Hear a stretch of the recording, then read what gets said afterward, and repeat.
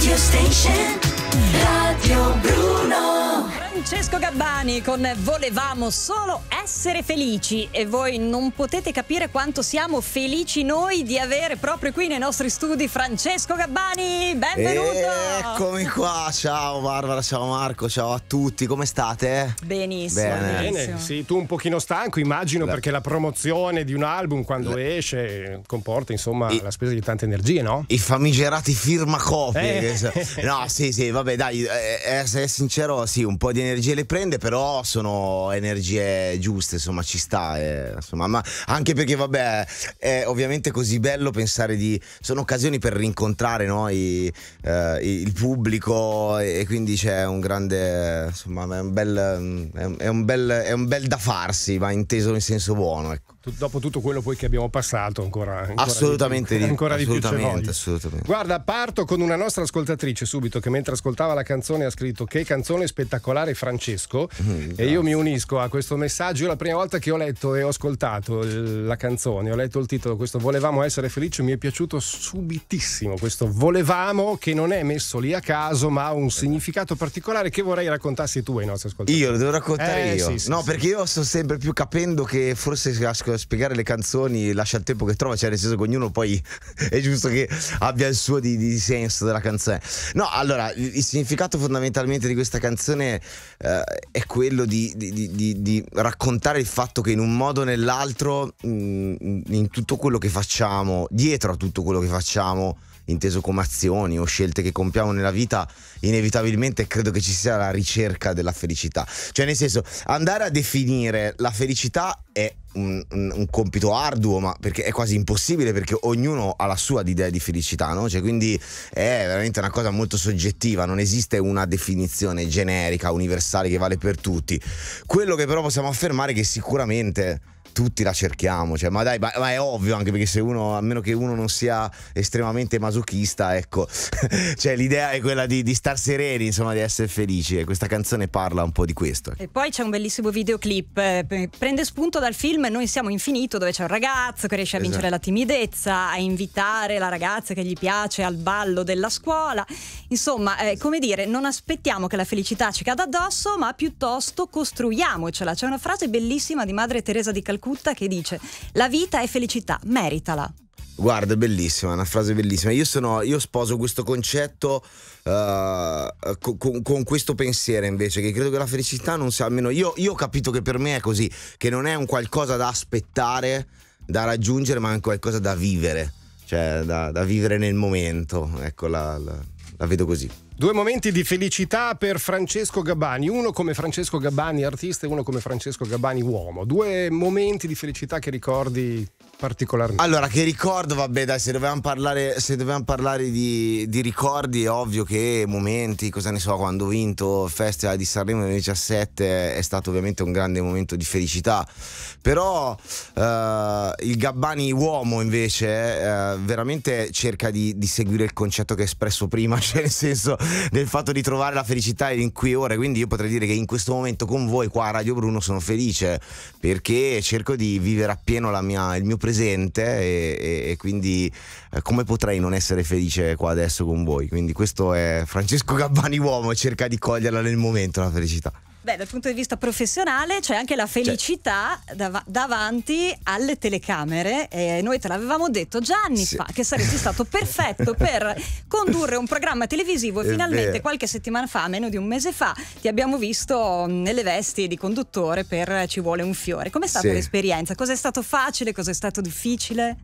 Ma allora, la, ehm, è stato facile eh, il fatto di, di- di vivere in un modo spontaneo una circostanza, anche perché io mi sono ripromessa di viverla in quel modo, perché non essendo io comunque ovviamente di, di mestiere, non facendo il, il presentatore, il conduttore, eh, eh, eh, non avevo consapevolezza di quello vera di quello che stavo facendo e quindi mi sono veramente buttato sull'onda della- della- dell'istintività, no? E per quanto ovviamente abbiamo fatto prove, abbiamo scritto del, insomma il, lo- il programma è stato scritto, lo show, no? Cioè, però comunque il modo di registrarlo è stato quello comunque di, di essere il più spontaneo possibile, quindi quello è stato sicuramente un aspetto eh, eh, bello, positivo, insomma, e, e devo dire anche divertente. Mi sono veramente divertito a fare mm, a, a- vivere questa avventura. Eh, l'aspetto invece, se vogliamo, un po' più complicato eh, è stato quello di cercare di relazionarmi ad un pubblico. eh, io ho provato a farlo un po' come quando faccio i concerti, quindi con la dimensione del live. Invece, quando tu devi essere live in televisione, eh, ca- cambia ovviamente, cambia perché sai che dietro la telecamera c'è, magari ci sono, c'è magari qualche milione di persone che ti sta guardando. eh. Eh, que- questo lo- è la cosa che ho trovato più complicata, tra virgolette. Sei abituato a guardarli tutti negli occhi, ma in quel caso non era Esatto, proprio possibile. È proprio così, te li devi, li devi immaginare. Francesco Gabbani anche cantautore, eh, oltre che cantautore, oltre che autore, polistrumentista, eccetera, eccetera. Abbiamo No. detto anche presentatore. eh, Un po', Aumentano le a te- responsabilità. A te, piace dire che un po' Beh. suoni e un po' strimpelli. È vero, è dello vero, ecco, ti vero? ricordi, ricordi bene, è proprio così. È sì, proprio sì, è così. proprio così.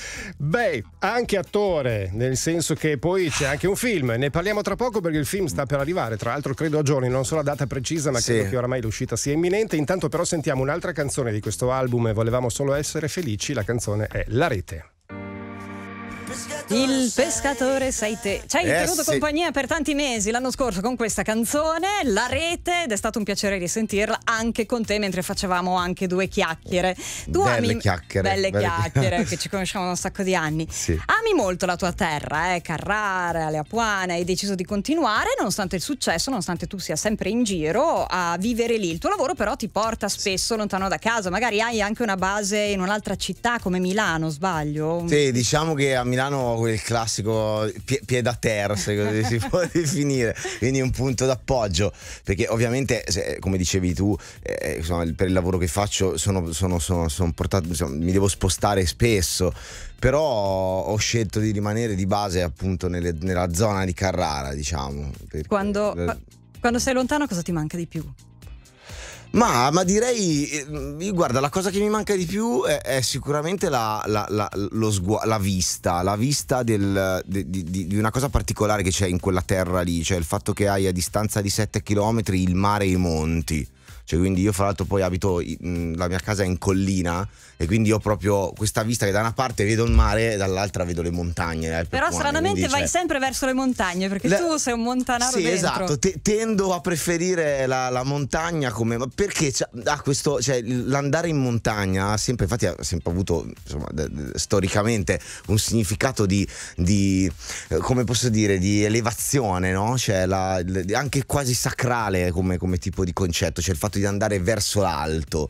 È anche una sorta di. di mm, eh, come posso dire, di ricerca di se stessi, di, eh, eh, c'ha questo, questo- questo senso, ecco, questo senso. A me piace molto, mi attrae molto.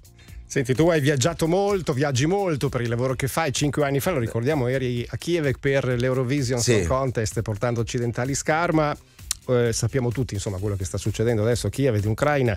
Una fotografia della Kiev di come te la ricordi come l'hai vissuta cinque anni fa e un pensiero su quello che sta accadendo adesso? Ma allora io ho un ricordo strepitoso di Kiev anche perché era una città che non conoscevo, poi l'Ucraina in generale, o Kiev in particolare non li conoscevo ed è stata appunto con l'Eurovision un'occasione per eh, in- vedere qualcosa, visitare un posto nuovo e devo dire che ero rimasto super colpito perché non immaginavo fosse così ma a parte ben tenuta, cioè devo essere sincero, boh, ben tenuta, eh, eh, solare, le persone molto accoglienti, veramente mi è rimasto un ricordo incredibile e quindi è ovvio che come quando hai un metro di paragone, no?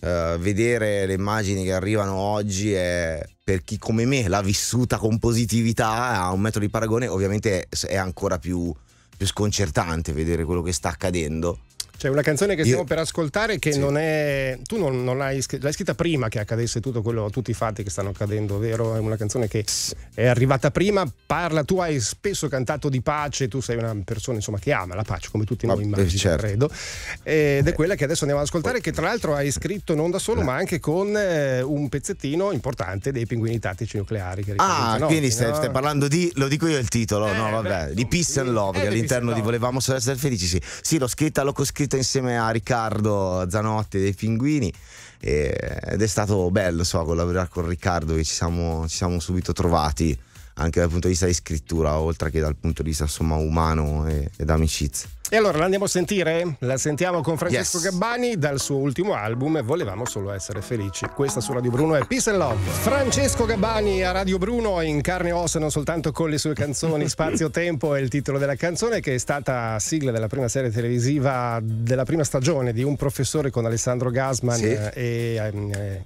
Alessandro Bastonardi. Per le altre cose immagino se ce ne sarà una seconda serie forse ci sarà ancora questa canzone secondo me perché è perfetta. Poi non lo so, non- magari. Ci sta- sono d'accordo Secondo con te. me ci sono sta. d'accordo Poi- con te. In realtà mi hanno già chiesto di, se mi viene in mente qualcos'altro per la seconda stagione, però io ho detto se viene una canzone strepitosa che diventa, eh, che accompagna bene, diciamo, questa, questa spazio-tempo, perché no? Però sono d'accordo col fatto che ormai perché questa canzone ha avuto una vita, diciamo. eh, grazie alla serie, la serie l'ho avuto grazie alla canzone, cioè nel senso è un po' c'è stato un dare avere, un viceversa, non per autocitarmi, ma Comunque nel fi- nella serie c'era, ho, ho sbagliato io, non Alessandra Mastronardi, ma Claudio Pandolfi. Alessandra Ah, esatto, Mastronardi esatto, invece esatto, è nel film che uscirà tra pochi giorni, che è La donna per me di Marco Martani. C'è anche appunto Alessandra Mastronardi e c'è anche un Francesco Gabbani inedito perché è la tua prima volta come attore. Sì, è la mia prima volta. Quest'anno è stato tanta, in questo ultimo periodo tante prime volte, diciamo. Sì, è la prima volta, anche in questo caso, un po' come nel programma mi è stato proposto di, di fare questa nuova avventura da, appunto proprio da Marco Martani, che è il regista e colui che ha scritto questa- questo film. E, e mi ha proposto di fare un ruolo, ecco, un ruolo all'interno di questa, di questa commedia e, e io mi sono prestato, mi sono prestato perché insomma è stata anche questa una- un'esperienza nuova. So- sono però curioso di vederne il, risultato perché io non l'ho ancora visto il film. Eh beh, tu, l'hai vissuto, però non l'hai ancora visto. Sì. Come è andata? Come sono andate le riprese? Qualche aneddoto, qualche curiosità? E tu ti definisci un precisetti, quindi eh, sei contento del tuo lavoro sul set? Ma allora, eh, ovviamente, ovviamente no. no, no, nel senso, da una parte credo di sì, dall'altra ripensandoci col senno di poi, se credo di aver fatto tante piccole imperfezioni che derivano da- da- dal fatto che ovviamente per me è stata una prima esperienza, quindi ecco, ho dovuto acquisire certe, certe dinamiche, perché comunque fare, prima parlavamo di com'è difficile fare, cioè il mood nel fare televisione, ecco, il cinema è, è completamente un'altra cosa, perché ho notato che infatti me lo dicevano, io sono abituato a essere nell'espressività tendenzialmente teatrale, no? stando sul palco, sul palco di teatro e sul palco live tendi a enfatizzare molto le espressioni perché devi amplificarle. Nel cinema è il contrario. No, lì ci Cioè, sono i nel primi senso, piani, e sì, quindi quindi fa- tu ti bisogno. muovi un- leggermente un sopracciglio e ti cambia tutto, no? Cioè, quindi eh, questa cosa, io, infatti non sono, non sono un attore di professione, però mi sono prestato, comunque è, stata- è stato molto divertente, dai. Ora vedremo, il risultato lo vedrò anch'io quando vedrò il film, dirò, "Mm, sono stato bravo, Mm, no, Mm, vedremo. Da bravo Precisetti, insomma. Da no? Precisetti. Giusta- giustamente. La- Senti, sì. Nell'album c'è anche una canzone che tra l'altro fa parte della colonna sonora del film, ne parlavamo poco fa, microfoni spenti. Un- tra l'altro nell'edizione speciale dell'album su vinile c'è un'edizione dove c'è una, questa canzone C'è che è La Mira. La mira È stata registrata a, ad Abbey Road. Road. Bella esperienza I- anche quella. I, i fantastici, i mitici I mitici. studios dove- di Londra dove registravano i Beatles. E abbiamo proprio registrato nella, nella sala B, che è proprio la, la sala, quella proprio dei Beatles, è quella insomma che iconografi- iconograficamente quella che ha la scalinata bianca che porta alla regia, che c'era la regia insomma sovrastante. E è stata un'esperienza ovviamente incredibile perché insomma mi, mi sono goduto appieno tutta l'energia.